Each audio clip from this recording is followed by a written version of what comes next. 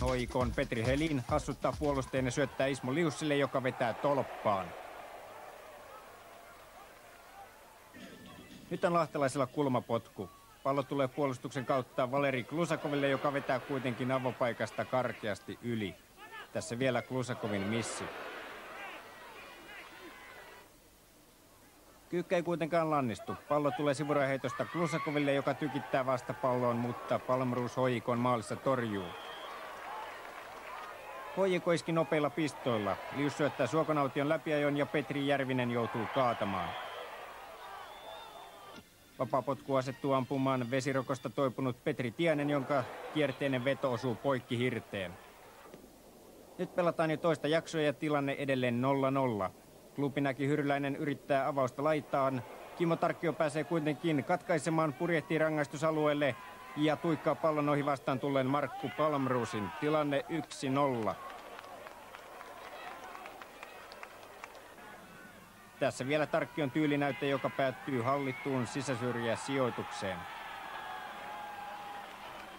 Pojiko taisteli urhollisesti loppuun saakka, mutta hyvistäkään paikoista se ei pystynyt tänään maalintekoon. Näin arvokkaat kolme pistettä tänään kuusisille.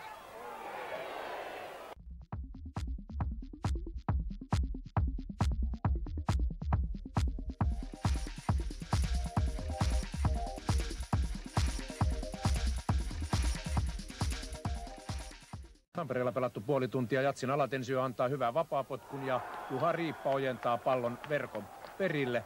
Jats 1-0 johtoon. 2-0 tulee Vesa Rantasen päästyä vasemmalta läpi. Mies sijoittaa tarkasti pallon maaliin. Kolmannen Jatsin maali valmistelee Petri Nieminen. Hieno poikittaissyöttö Luis Antoniolle. Brasilialaisvahvistukselle nopea tarkka veto Ottelu 3-0 FC Jatsille.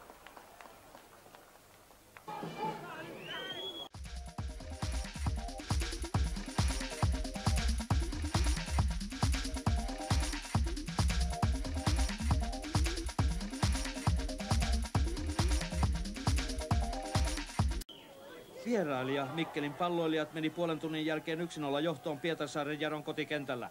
Jukka Ruhanen hyödyntää kulmapotkun jälkimainingit. Seitsemän minuuttia myöhemmin sinipaitainen Mikkeli tulee taas. Vaikka Jaron puolustus selvittää Jari Hudin puskun, se ei voi mitään Juha Karvisen vedolle. 0-2.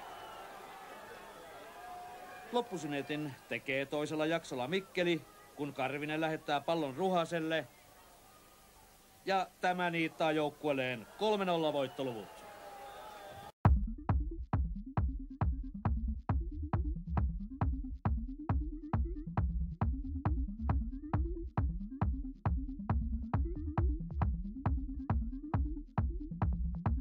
Kuopiossa ensimmäisen jakson loppuvaiheet venäläisvahvistus Valeri Prossin ja älykäs vapaapotku vasempaan yläkulmaan 1-0 kupsille. Ja lisää erikoistilanteita Markku Raatikainen pilkulta 2-0. Ja sitten vielä Prosinin näytös puolesta kentästä yksin läpi. Martonen pääsee ahdistamaan, mutta Prosin huijaa ja huijaa vielä Huttusenkin 3-0 numerot Kuopiossa.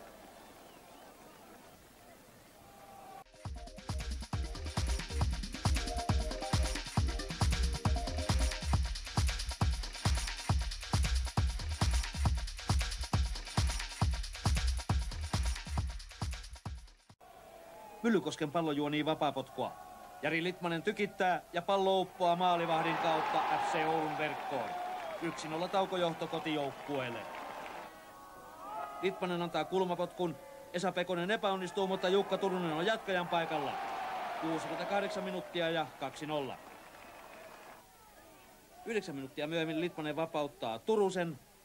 Tämä harhauttelee ja kierteinen kuti uppoaa oululaisten verkkoon.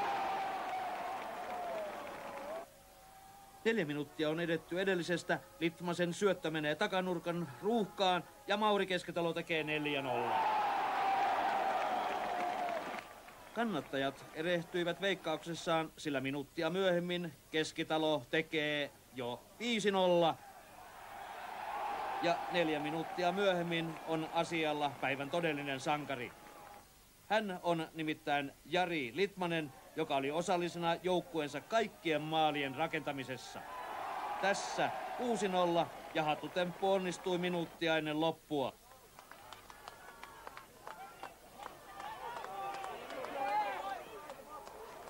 Myllykoski voitti Oulun 7-0.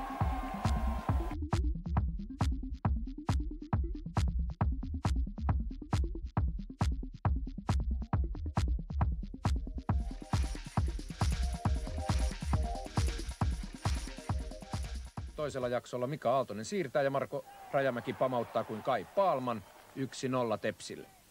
2-0 tulee Petteri Viljasen hyvä siirto. Toisen polven 18-vuotias palloilija Jasse Jalonen vasempaan yläkulmaan. Komea maali. Ja sitten Marko Rajamäki mukana myös kolmannessa Tepsin maalissa Janne Lehtiselle kääntö. Lehtinen löytää Kierki Kaidun pään ja 3-0 Teps voittaa Ropsi. Tässä liigatulokset. Vierasvoittoihin ylsivät 6 Jats Mikkelin palloilijat